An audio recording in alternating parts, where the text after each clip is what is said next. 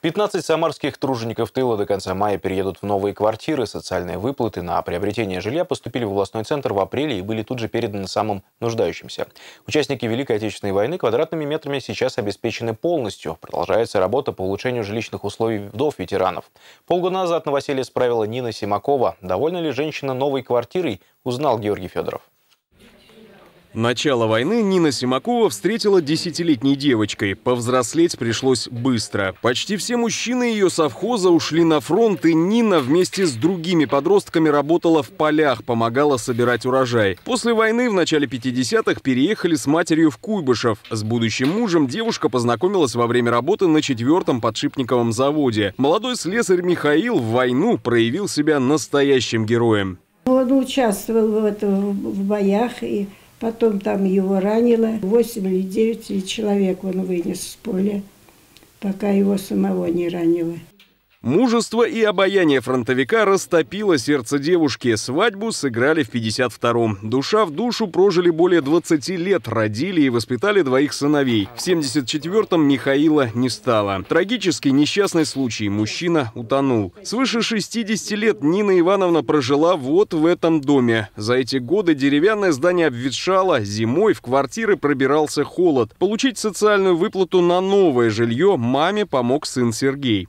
Очень хорошо, что такая программа. Мне встречались все время такие хорошие люди, которые подсказывали, как лучше сделать и как правильно сделать. Всю зиму жила в тепле, вот так ходила все время с коротким рукавом. А там я куталась, все до мне пуховый платок с меня не слезал. Все. Вот сейчас очень довольна я. Не хочется, чтобы у меня комната была с балконом. И все мне вот все сошлось, все. Слава Богу, благодарю за всех.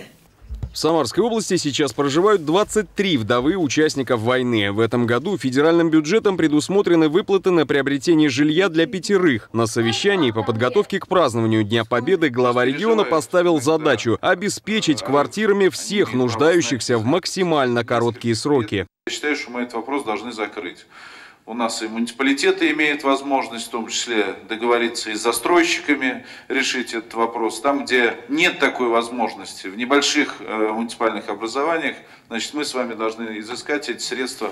В Самаре накануне 73-й годовщины Победы свои жилищные условия смогли улучшить 15 тружеников тыла и одна участница войны.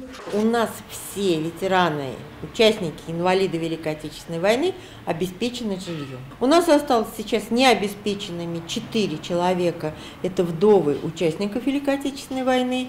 И э, Дмитрий Игоревич Азаров сказал, что, безусловно, эту проблему будет решать. Мне очень хочется в преддверии Дня Победы поздравить их с праздником и, самое главное, пожелать здоровья, и чтобы их дети, внуки всегда были рядом и помогали. Этого же всем желает Нина Симакова. Сыновья и внуки, которых она называет своей главной победой в жизни, навещают ее каждый день. 9 мая также встретят в семейном кругу, но уже в новой уютной квартире. Георгий Федоров, Сергей Костин. Новости губернии.